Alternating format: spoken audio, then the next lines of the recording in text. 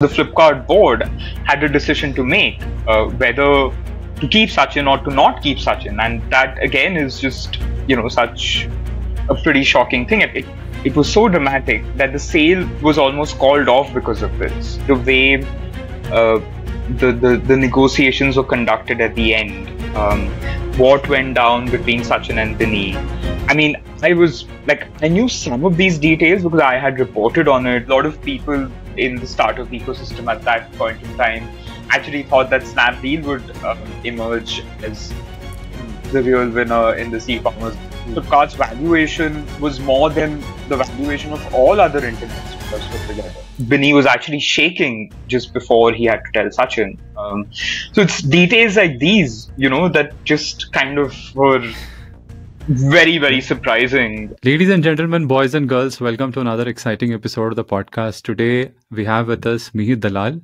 Mihir Dalal is a respected journalist in the business community and is the author of the famous and the best selling book, The Big Billion Startup. So, a lot of things to learn from Mihir today, especially about his book writing journey. So, thank you so much for joining me on the podcast, Mihir. It's a pleasure to host you. Thank you for taking out time from your busy schedule. Uh, Thanks, Vivek. It's it's great to be here. Yeah. So so Mihir, uh, I think uh, writing a book is is kind of becoming quite uh, popular, and nobody uh, is better than you to sort of spill the beans on how the process looks like and how does somebody is able to write something which turns out and becomes a bestseller. Uh, so on on behalf of my audience and myself as well, I just wanted to uh, know a couple of things from you about your entire book writing journey. Uh, so I think the first question which uh, I had in my mind was that uh, how did the idea of book writing came to you? Was it something that you had in your mind like a couple of years, or maybe if you can sort of talk about the origin of the idea itself? Yeah, yeah, sure. So um, I I started writing on startups in 2014. Um, uh, you know, as as you will remember, um, before 2014, the startup scene in India was really really tiny. Um, you know, there had been a lot of yeah, um, yeah. ups and downs, um, and uh, I, I, there, there was there was pretty decent uh, interest in uh, Indian startups. Uh, in I, I think about a year or two before the Great Recession of 2008. But after that, you know, it just um, the next two years, um, kind of like yeah, there was almost no funding happening for tech startups uh, for two years. And yeah, then again, yeah, there was yeah. a mini funding boom in 2011, uh, 12, uh, 2010, 11, and then again from I think 2012 to 2014, it was I mean, it was a it was a proper funding winter. So um, there was very little um, belief among um, people in general and even media houses, um, you know, that this startup thing was for real before 2014. So there was not uh, there there weren't a lot of people who were writing on startups. Um, there weren't a lot of newspaper editors who were really properly interested in startups until 2014, and then it just suddenly changed, right? So um, I mean, India really experiences its first big funding boom in 2014-15. And I think interest started yeah, yeah. Um, rising and also it was sustained uh, after that um, in covering startups because then, um, you know, people who, I mean, most people in urban India, uh, or at least in the metros, you know, started using these internet services um, in one form or another. And everyone could see yeah, that this time, yeah, okay, yeah. It's, it's for real, you know, it's not going away.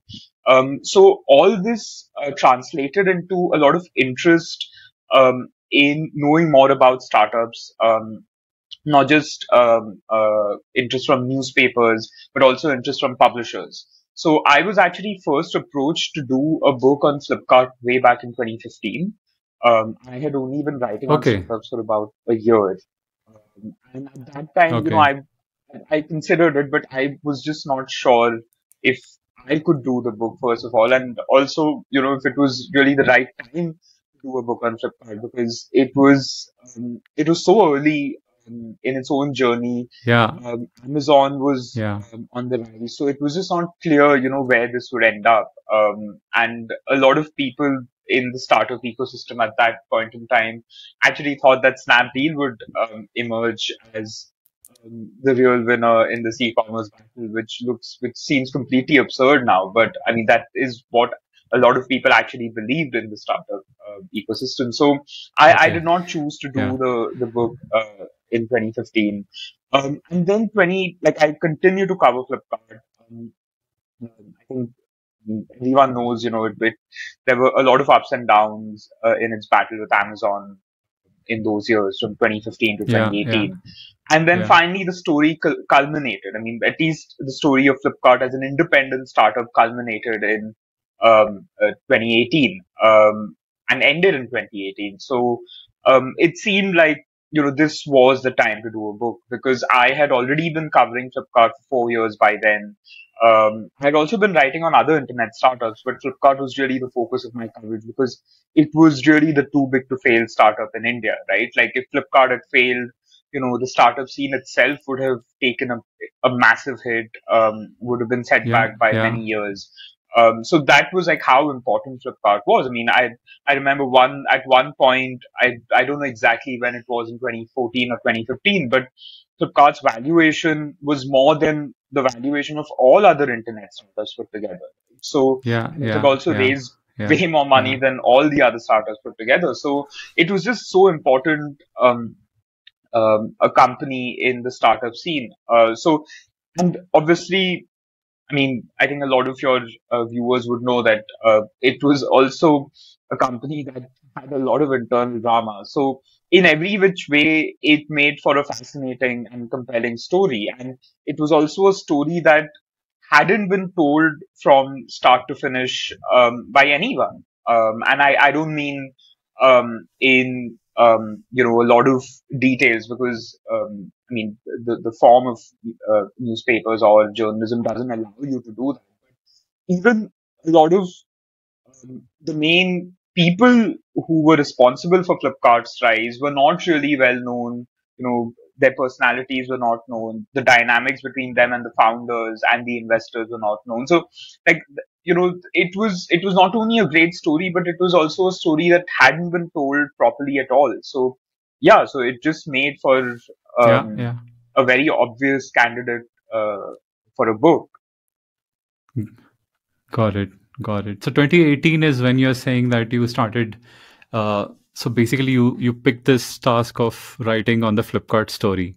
So how was how was the process looking like, Mihir? Uh, so from start to finish, uh, I think as as an author, uh, if you have to sort of distill down on the process, uh, would be great if you can sort of talk step by step on uh, how it went from initial idea to let's say the first draft, second draft, and so on.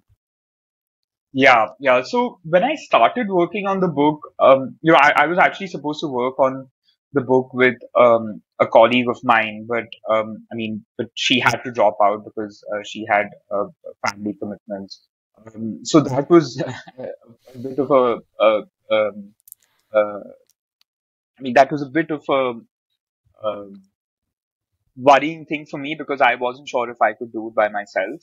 Um, and when I started working on the book, um, the the ambition was really fairly limited. Like, um, it wasn't as if I set out to write a really um, uh, like I, I didn't really set out to write in such uh, great detail about um, the characters involved um, in the book uh, at Flipkart, um, and I think um, the more uh, I reported, uh, the more I felt like you know the, I don't want to make this into a conventional business book about you know sales increasing whatever 200% in one year, then increasing to 50%, then dropping back to like 150% or whatever, right? Because, I mean, that is not really what made Flipkart successful. I mean, there, there was a lot of, um, uh, other stuff that was going on that was really interesting. Um, and yeah, so I started reporting, um, in August of 2018, uh, just exclusively on the book. Um, obviously I was helped by the fact that I had written on Flipkart for four years before that. So I knew most of the people um, who were at the company uh, and who had been um, the major figures at the company. Um, and um, so I focused um, only on reporting for the first um, four to six months. I did about, I think, in those six months itself, I would have done more than 200 interviews just for the book. and and this is all apart from like the four years um, of reporting that I had done on Flipkart. Um, so I gathered a lot of information in the first, um, you know, six to seven months. Um, and then I think I should talk a bit about the pitching process because uh, pitching the book is also yeah. very, very important, right? So, um, so hmm as hmm. soon as the Flipkart sale happened to Walmart um, in May of 2018, you know, within a few weeks of that, uh, I was approached by publishers um, and other people were approached by publishers as well for a book on Flipkart because, like I said, you know, it was just su- okay. such a compelling candidate for a book. Um, and then um, finally, yeah, I yeah. think within um, uh, within a couple of months, you know, most other people who were considering working on uh, a Flipkart book kind of decided to drop off uh, because of whatever reasons. I, am not really sure. Um, and then um, uh, when I started pitching, um, um, I, I signed up with an agent uh, because I was told by uh, people I know uh, in the books business that it's it's just better to work through an agent. Um, you know, whether it comes to negotiations with publishers or uh, whether it comes to um, you know dealing with publishers uh, as far as promoting your book is concerned, it's just better to have an agent because they they work with publishers all the time, so they know how this process works inside out. Um, and um, yeah, it. so we had um, we had interest from I think about six publishers, right? Like all the major publishers in India okay. were interested in the book, um, and we actually decided okay. so that like we conducted an auction, and we decided to stop um, the the the price from um, rising because because it was getting it was getting to a level where you know we were just not sure if the money that they were investing in the book, which was basically like the, the advance that was being given to me, would ever be recovered, right? Because, yeah. um, I mean, it, hmm. it kind of became like the, this prestige thing because, you know, like there are very, very few, uh, serious business books in India. And, um, this was clearly going to be one because it was on Flipkart and it was being written by someone, you know, who had been writing on the company for many years. Um, yeah. So, yeah. um, so we actually had to stop the the auction uh, because the the the advance was get was rising to a level which we did not think you know we would be able to like justify um, and uh, we chose like I chose uh, the the publisher uh, that I wanted to work with primarily based on um, you know the editor that was involved in the pitching process because um, because I wanted the book to be um, more than a business book. Um, you know, I did not like I chose um, uh, the editor who I thought had the best uh, sort of uh, literary um, uh, you know abilities uh, rather than just going after uh, money. Right? So I think that was that turned out to be one of the best decisions that I'd taken with regards to the book because um, the editing makes a huge, huge difference, um, right? Like from being like a decent book to a high quality book, it like the editing makes all the difference. Um, so so yeah, so that was like super super important. Um, Choice was more based on who can help you more with the editing side than whoever sort of pays the highest amount of money. Correct, and also editing in a certain way. Like um, I did not want this to be a dry book um, like a dry business book. So I wanted it to be a more interesting book that could be read even by a lay reader, right? Like who doesn't know anything about startups. So I thought it's best to actually go with an editor who doesn't yeah, do business yeah, books. Um, so the editor that I chose, she actually hadn't done business books before uh, that. Um, uh, whereas, you know, a lot of other editors that were involved in the auction, they were business editors, right? So um, I made like I took the uh, like I made the choice of going with a non-business uh, editor. Uh, so that turned out to be very very um, helpful for me. Um, yeah, so that is what I meant um, about like kind of going with um, like with choosing Got an it. editor. And you were con- you you were considering any book as a bench benchmark when you were drafting this uh, book or thinking about this book? Um, so I, um, I, I did uh, initially, but I kind of quickly decided to, um, you know, not uh, uh, take any book as a benchmark. Like obviously, you know, uh, Brad Stone's um, Everything Store was um, uh, initially um, like the benchmark or something like what I wanted to do. But then very, very soon I kind Yeah, of yeah. decided that I didn't because um, that book, you know, was writing about Amazon um, after many, many decades of um, uh, of this of, Yeah, of there being yeah. a Silicon Valley and Of of the yeah. there being many, many books on Silicon Valley, right? Whereas there was nothing in India that uh, could uh, could explain startups. Um, so I wanted it to be um, a a good introduction as well to like the startup world and to the post liberalization uh, kind of you know tech boom in India. So that's why I, I chose not to really um, uh, go with any benchmark as such. Got it. Got it. And and when you were thinking about it, spending time doing all this work with the agent, did you did you have like a slightest idea this is this is going to become a bestseller someday? No, we really didn't. I mean, um, you know, like I said, we actually stopped the auction process because, uh, I mean, the advance was getting to a level that, that we did not think was justified or could be justified by the commercial potential. Um, and, um, yeah, so we did not think at all that this could be a bestseller. Um, we were just hoping that, you know, it gets promoted well, it gets reviewed, and then um, yeah, I mean that that was basically the the aim that to just like put it out there so that you know people at least know that such a book existed. Got it. Got it. So so you're saying the first step is basically figuring out the publisher, right? So with the help of agent, you figure out a publisher. The second step is where you're saying you did a lot of research for like six, seven months. You did hundreds of interviews to get data while you were writing on that piece for like so many years.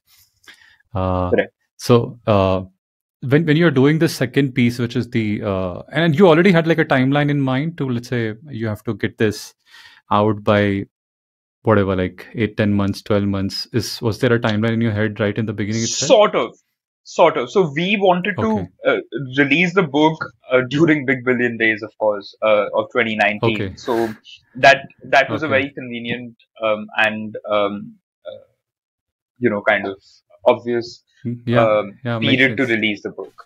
Yeah. Yeah so so when you are doing uh when you're doing this so much of heavy research, right? So was it like uh I mean in terms of let's say number of hours that you're spending every day, was it like eight, ten hours every day? I mean you're doing with your full-time job or is it like Correct. something Yeah, uh that you I just was. okay. Yeah, yeah. Okay. So the f- So from uh, I think from August to December, I was uh, doing this alongside my job. So like yeah, so those four five okay. months were just like terrible because I was working 17, 18 hours on a regular basis, and you know seven days a week, and um, I also had a very very stressful job at that time because um, Okay. uh, I mean startup news just wasn't like it was very very intense. It was very heavy. Yeah, yeah. Um, yeah. Um, so yeah, so I was working uh, 17, 18 hours regularly and at least, you know, eight to nine hours uh, Wow. on just the book. Yeah. Wow. Wow. So I mean, how are you navigating those times? I think and and, and that continued for like how long? Yeah. So, I mean, I, I thought, you know, because initially, like, I did not, like, my ambition for the book was not as expansive as it turned out to be. I thought, you know, I'd be able to finish it in six to eight months. Um, at least like Okay. you know most of the work um so i thought you know yeah this like this kind of like hellish uh, uh work um will just like last for whatever four to five months and then it'll ease off Okay. as i finish more and more work but it just like the work just kept increasing and increasing and increasing because the material that i was gathering was so interesting that um you know like i just did not want to stop so um, from August to December, I was working on this along with my job. And then I just decided that to do justice to the book, I need to work on it full time.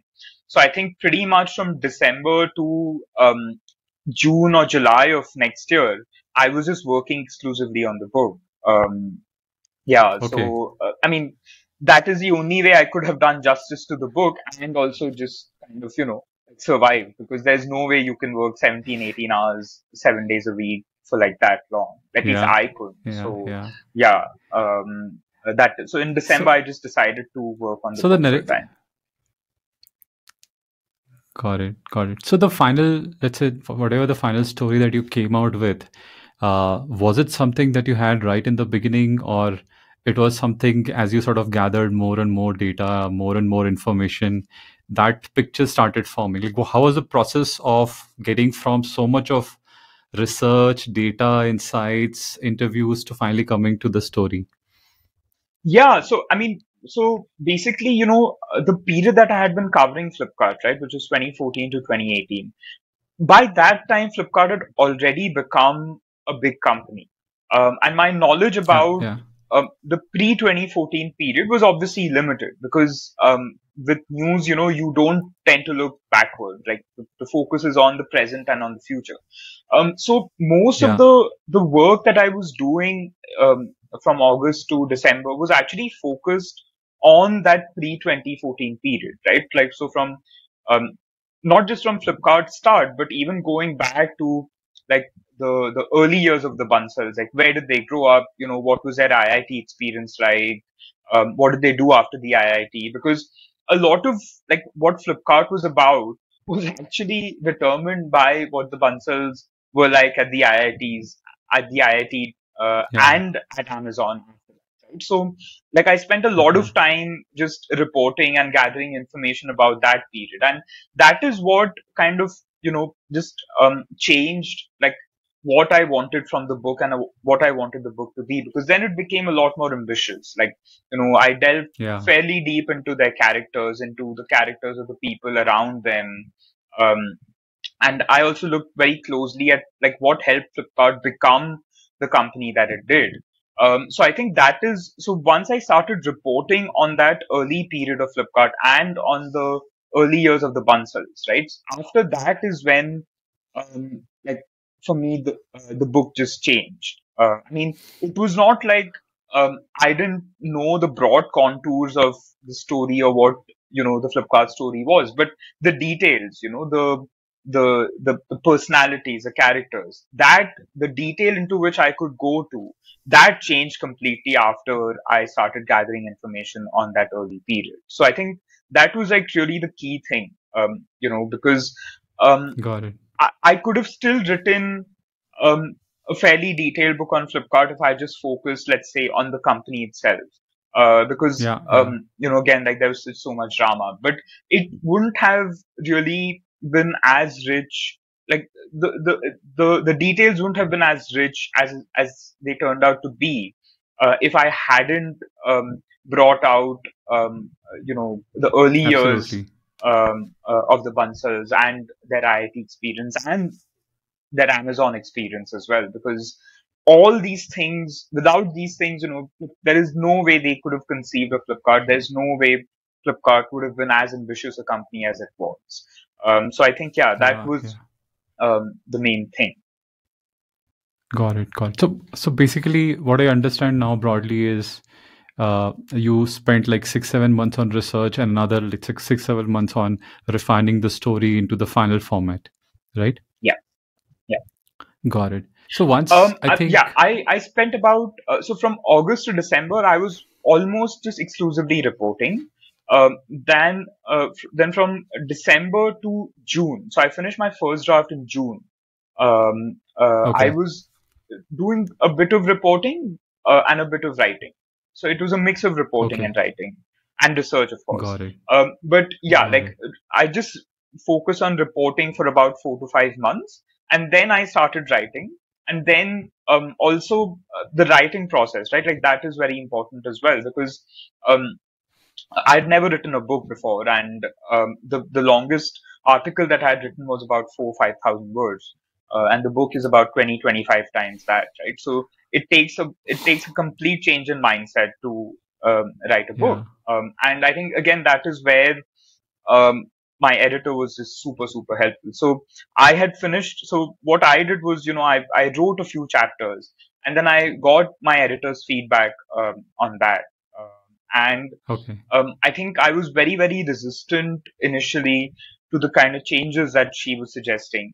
But then, like slowly, you know, the more and more I thought about it, and the more I um, uh, saw like what the changes that she was suggesting were doing to the story, you know, I just completely bought into that um, approach, and that just like really, really helped me um, to write in a focused way, and in also a way that um, is fitting for a book because the way you write for a book is very different from um, journalism, right? Like, so for instance, um, just to give you a small example, uh, when we write news articles, you know, we write what the information is and uh, or what the news is. We write the context, and then you know we quote uh, the relevant people who are associated with the story. Um, but that is not at all how a book works. You know, there is no um, like you can't just have information context code. Like you need to have a story. You need to have a narrative which means that you know you need to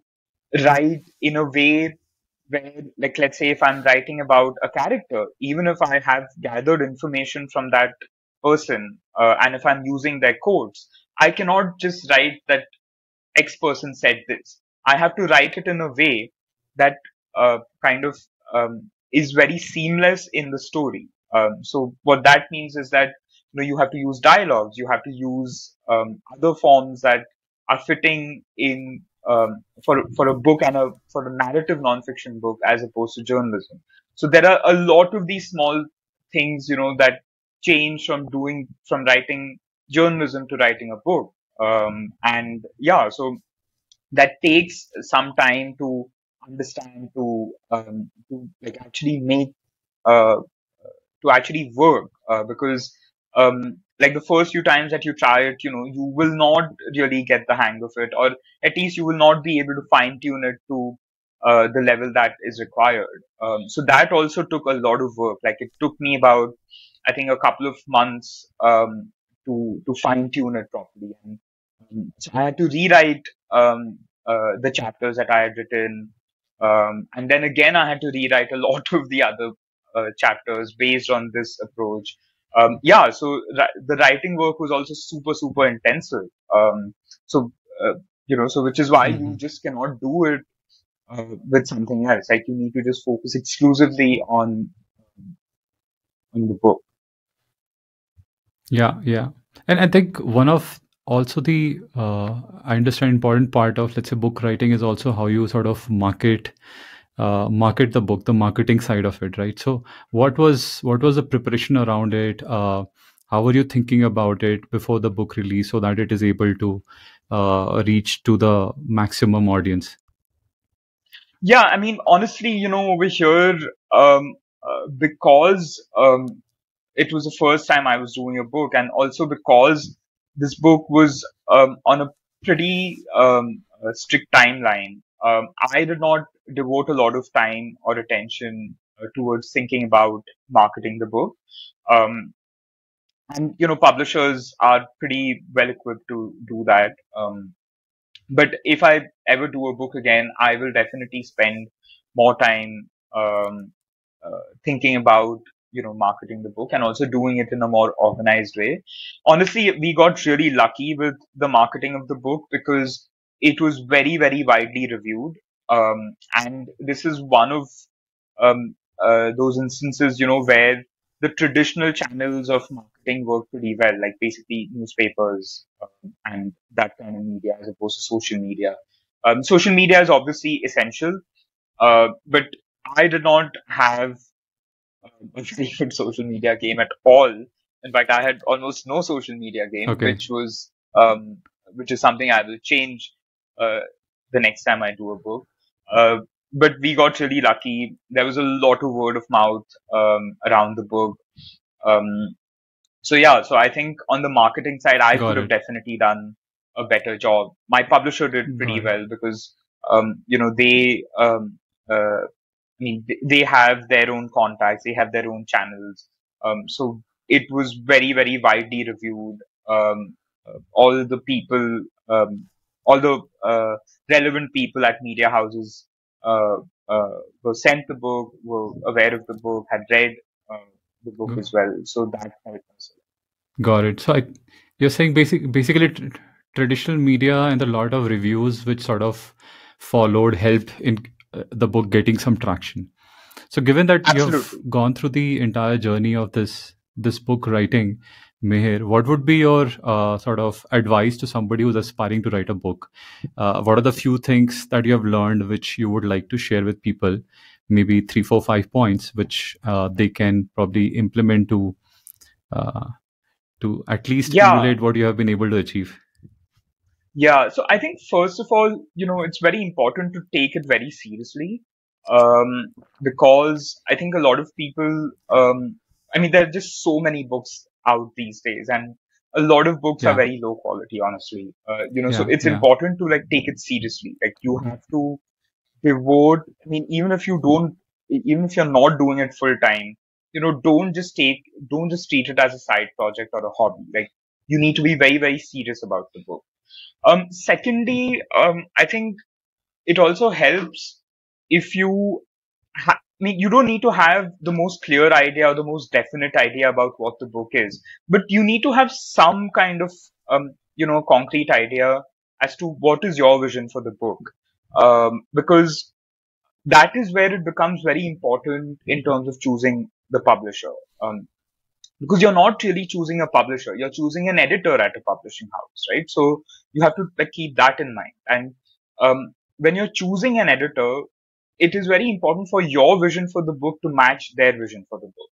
Because if you, you know, if your vision is X and that person's vision is completely different, it's not going to work out. It, it'll just end up Yeah.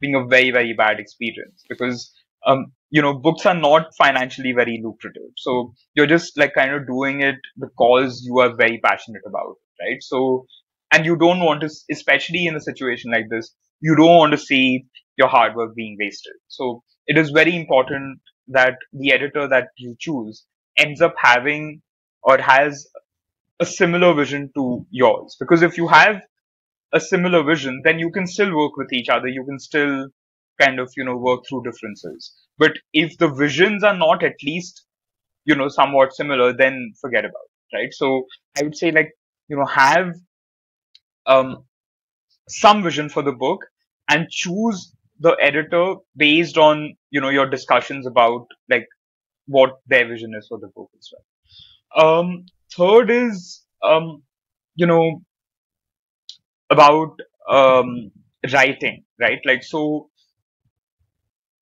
unless, uh, I mean, unless you have read other very good books on topics like these or just like very good writing, um, you know, don't, um, like the, the aim is not really to showcase your writing skills. The aim is to um, communicate what your idea is in the best and clearest possible manner to your readers. Yeah. I mean, I'm Yeah. mostly talking about, you know, commercial nonfiction right now. So yeah, so the, the clarity is very important. So focus on the clarity rather than, um, you know, trying to like showcase your writing skills. Um, and yeah, the, the other thing would be about the marketing aspect of the book, right? So, so there is, so, so once you finish the book, um, uh, and from the time, from the, from that time to the time it's published, it's at least a few months, if not more. Uh, so that gives you some time, you know, to think about, uh, and execute your marketing strategy for the book. So, you know, that is, so use that time very well because if you, if you were doing the book full time or let's say if you are doing the book alongside a regular job, that won't leave you a lot of time to think about post um, uh, release, right? Like so, uh, because the, like it, like the book will just take up so much of your time, just like writing the book or thinking about or researching the book Yeah. will Yeah. just yeah. take so much of the time that you won't have a lot of time left to think about marketing while you're working on the book. So use the time uh, that you have in that lag till the book is published to really uh, come out with some sort of a coherent marketing strategy. Um, uh, but honestly, you know, after the first two, three months or after a few months, uh, it all depends on word of mouth. Like you can, um, like even if you spend you know, whatever marketing money on the book, unless the people who have read the book. So what marketing does is, A, it creates awareness about the book, that basic awareness that, Yeah. you know, such and such book is out there. If you're interested, uh, pick it up. This is, this is what the book is about. So you can do, uh, so what you can do is you can craft um, an appealing uh, marketing message about the book uh, uh, and all that. But eventually, the people who actually buy the book, A, are going to have to read the book. So you have to ensure that it gets to like the serious book readers in the first place or the people who are seriously interested in the topic that you're writing on in the first place. And that is where marketing obviously comes. Uh, that is where marketing is essential. So that is what marketing can do. But no matter how much you promote the book, unless the people who have read the book recommend it to their friends, to their colleagues, to their relatives, etc., it's not going to do well. Because honestly, you know, books is not like um, uh, a lot of other products. Because a book is actually something which a lot of people who have read the book have to recommend to others. Uh, you know, um, so Yeah. uh, Yeah. so marketing can only do so much. Like the book has to be like good uh, in a basic way Yeah. uh, yeah.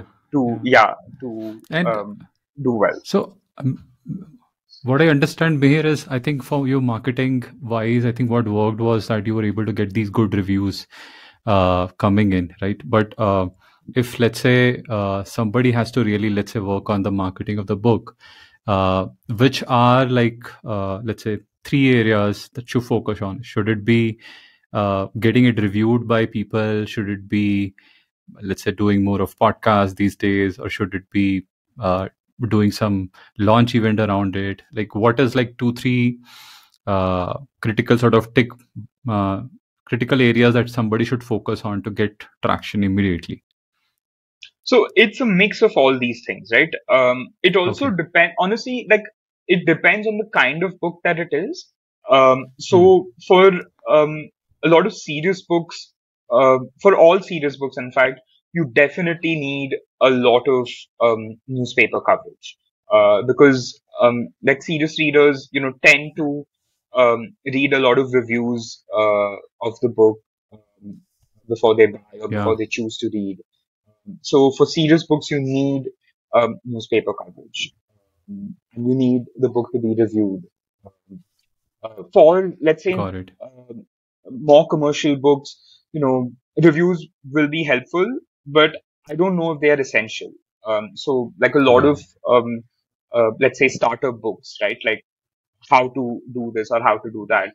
They may not necessarily need reviewers. Over there is where social media and the newer channels uh, of marketing are really important. So, you know, stuff like Instagram, um, podcast, LinkedIn, those are extremely important um for more Got it. commercial books. Uh. So, uh, Mihir, I think given uh, you you had been doing research on Flipkart so heavily for so many years, and then you spoke to so many people within the process of writing the book.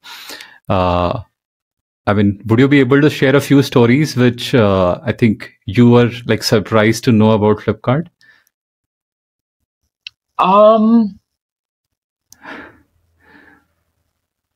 yeah, so um, I mean, the the way it ended, right? Like the way the Flipkart um, story ended, like the, the way the sale happened, was just incredible. I mean, you know, it it is just very very tough to believe that like such a big historic sale can happen in this way.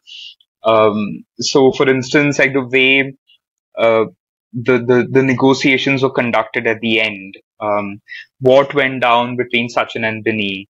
I mean, I was like, I knew some of these details because I had reported on it uh, when they happened, but honestly, I had I had very little idea about the the details, right? So, um, you know, yeah. So, I mean, for instance, when um, uh, so this is the last leg of the negotiations between Flipkart and Walmart. Um, and you know, the Flipkart team is in Bentonville and Sachin had been leading the negotiations, uh, from Flipkart's side along with Lee Fixel.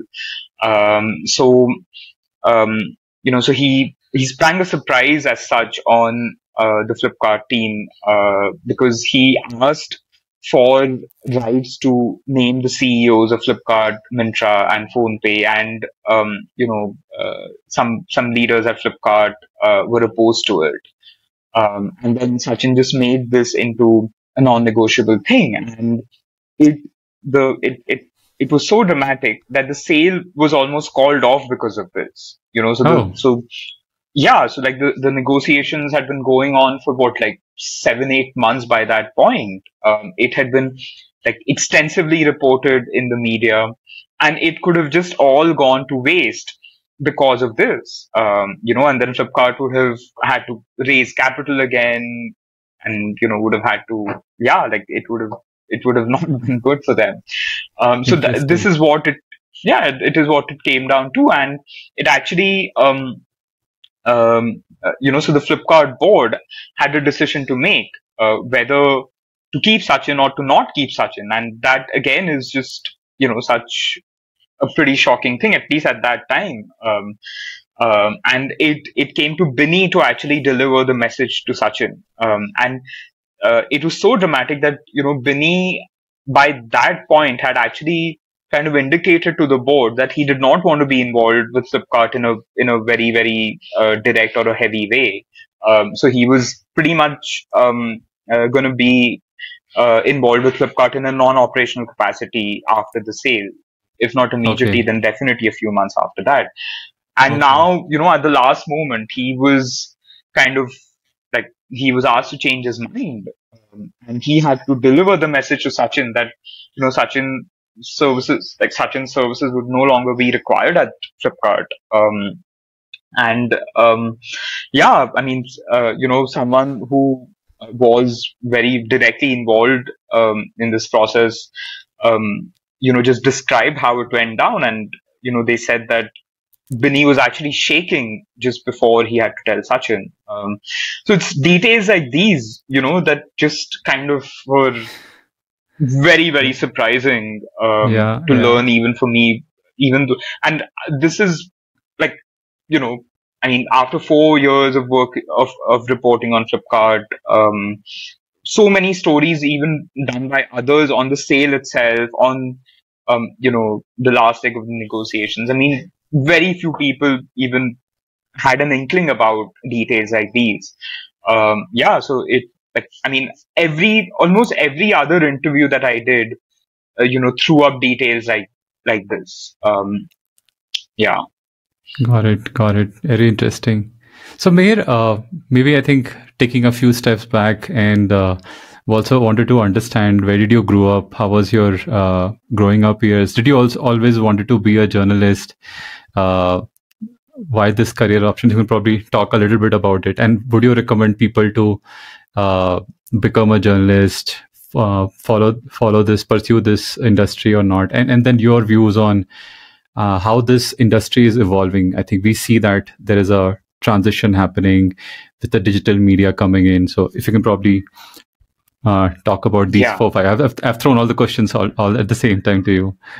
Right, right, right. So, yeah, so I, I grew up in Bombay. Um, Okay. Uh, I, uh, yeah, I uh, grew up in Bombay. I, uh, I moved to Bangalore only after uh, uh, my college years, and um, I've, I've been working in Bangalore pretty much all of my professional life. Um, uh, I was actually um, studying to become a chartered accountant. Um, I passed the entrance exam, and while I was studying for, yeah, while I was studying for the second um, uh, round, uh, you know, I just decided it wasn't for me. Honestly, Okay. I, I just couldn't um, um, conceive of me doing that for like five, six, seven years, right? Because Okay. I mean, after that, you have to do uh, your articleship, and then there's the the final uh, exam. Yeah, so it just seemed seemed just way too much of a slog, um, and then something that didn't really excite me. So I just decided to um, uh, like not pursue it. Um, and yeah, I just I think it was after my graduation um, that I decided that no, I wanted to become a journalist. Um, Okay. or at least I was like more serious about it then. uh, after my graduation, and I enrolled into a journalism college. Um, and yeah, after that, um, uh, I was hired uh, by CNBC. We, my batch actually uh, graduated um, in 2008. Um, Okay. a few months before the, the Great Recession, um, and that was actually the, the, the peak of the media boom um, in India, right? Like it was Okay. everyone was hiring, uh, salaries had kind of um, come up to a to a decent to a um, you know living wage uh, level. Um, Okay. So yeah, so that was a, a, a great time to enter journalism. But then, just like five months later, you know, the recession happened and everyone started cutting back. So that that was that was a really really interesting um, a period to to start business journalism in particular. Uh, Yeah. yeah, and then um, I uh, I I started um, uh, like I was working at Reuters where I was writing on American companies, but then I joined Mint uh, and I started covering consumer companies uh, initially, consumer and liquor companies, and then in 2014, like I mentioned, I started writing on startups. Um, Yeah. Yeah. yeah, I think it was, I think for the most part, like I, I've been a journalist now for about 15 years or so. Uh, for the most part, it was, it was a fairly rewarding, um, it's, it's been a fairly rewarding profession, um, because, uh, you know, you, you get to, um, you obviously get to meet a lot of interesting people, uh, a, a lot, a lot, a lot of smart people.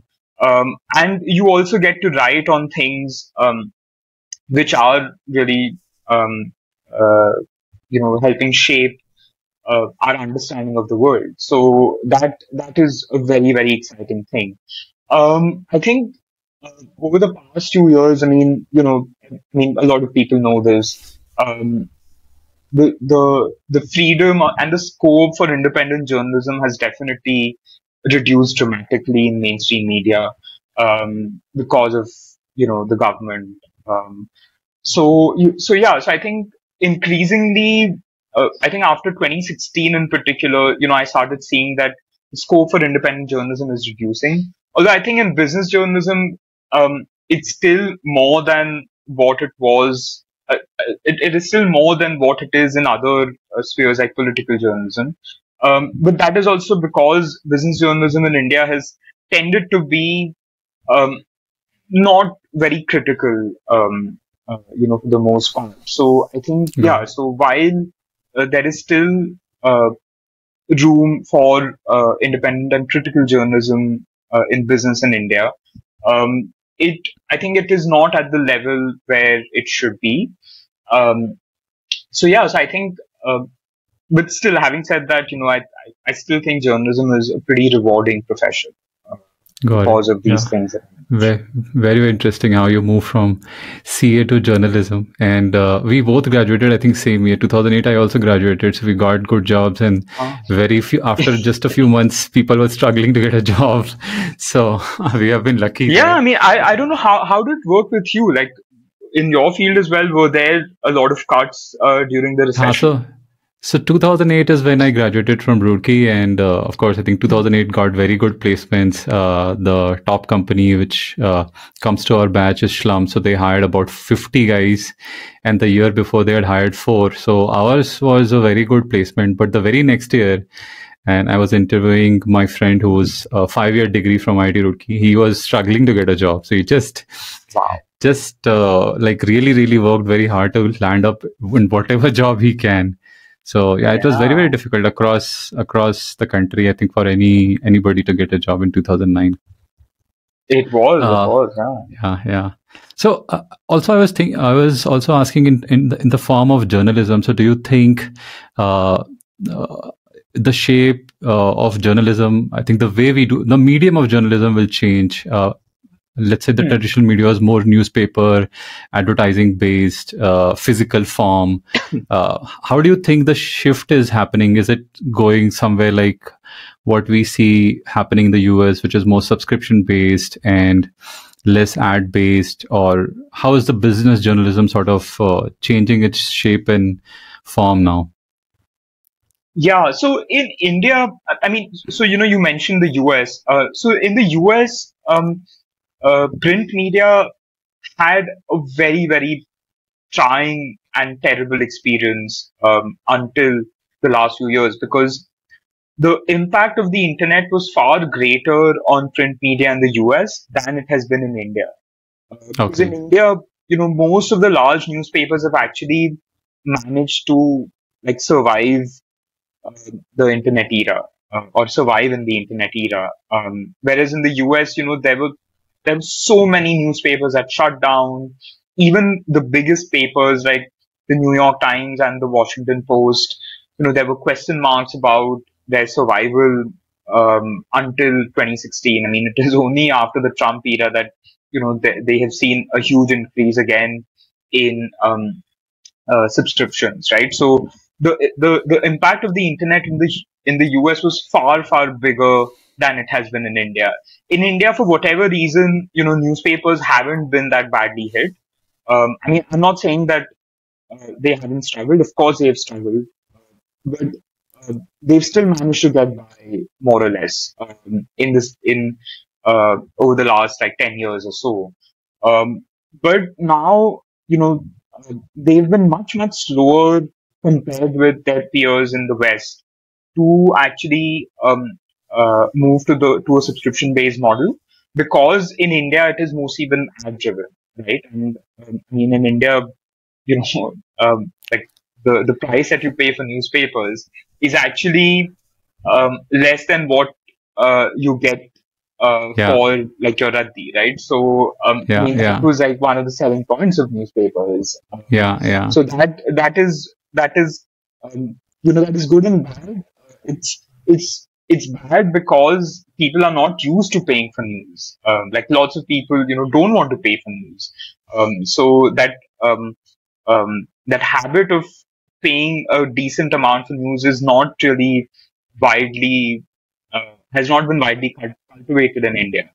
Um, it's good because you know I mean it gives you a chance to just start fresh um, uh, on the digital side. But I mean honestly, I don't think anyone has been able to figure this out in India yet. You know, like how Okay. to move from an ad based to a more subscription based model. Like Okay. everyone is trying, um, but it's it's very difficult to see um, this working for a lot of people. I mean, I think eventually you'll see like far fewer players um, when things become more and more digital. I mean, the, Got the it. shift to digital hasn't been as steep in India as it is in the US. Uh, Okay. So I think in India, people still like to read newspapers, um, especially the the middle age and the older folks. You know, they still li- like to read newspapers.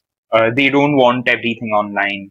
So I think, yeah. So I think it makes that makes it easier in a way for media houses to um, adapt to this era, to this new way of um, Got it. Got it. So coming to the end of the podcast, Mihir, I have a few rapid fire questions, quick questions. So I think number one in my list is what do you think made Flipkart so successful?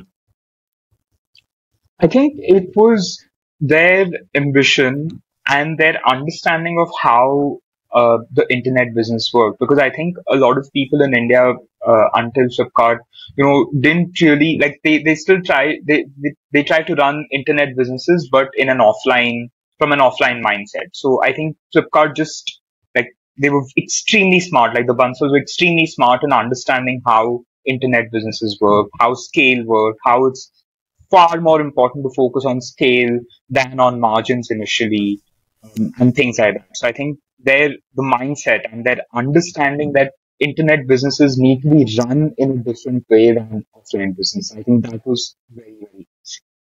Got it. Got it. And at which can- company did you know you can talk about things like their focus on customer service, um, their experience at Amazon, and the the culture that they cultivated. Of course, all those things are important, but yeah, yeah. the fundamental thing was that you know they understood that internet businesses you cannot run internet businesses from an offline mindset Got it. Got it. Makes sense. And which which company do you think is the Flipkart of today? Um, I think from a customer perspective, um, or at least in terms of um, uh, creating an organization that is geared towards offering excellent customer service, I think hands down Swiggy is you know the leader there. I mean, they like Swiggy is by far uh, the best customer service provider. Um, you know, their focus on delivering the best customer service on uh, on creating like very very well designed products. I think they are easily um, the most um, like they have carried forward Flipkart uh, Flipkart's legacy in a way that no other startup. Yeah, yeah, yeah. That's amazing. And I think you, well, you've written yours, but what would be your top three book recommendations, Mir? Yeah, I think in from in business books. I mean, these days I mostly read, uh, you know, uh, history uh, and political history. But I think in business books uh, uh, for India, I think I would, or at least that are relevant to like the startup scene or to business in India. I would say that one um, you know, everyone should read this book called Ambani and Sons uh, by uh, uh, this uh, Austra- former Australian journalist called Hamish Macdonald. It's okay. it's it's a fantastic biography of uh, Dhirubhai Ambani. It's actually okay. a very very it's a very serious book. It's not a hagiography. It's it's just superbly done. So I would highly highly recommend that book. Then I think um, for a survey of the Indian economy uh, post independence. Uh, there's this book by T.N. Ninan. Uh, I think it's, I, I, don't remember the full name. I think it's called The Turn of the Tortoise. Um, okay. Um, so I think I would recommend that. And third, um, you know, for uh, people uh, who want, um, like who want to generally understand how startups work, um, I think the Everything Store by Brad Stone is is a is a super yeah uh, yeah yeah book. Yeah. Yeah, yeah. Great. Thank you so much, Mihir, for uh, joining me on the podcast today. It has been super exciting discussion. A lot of, I, I think, knowledge when it comes to anybody who wants to write a book. I think they should find all the nuggets of wisdom here. So thank you so much for sharing all of us, all of that with all of us. So thanks again. Yeah, thanks. Thanks for having me, Vivek.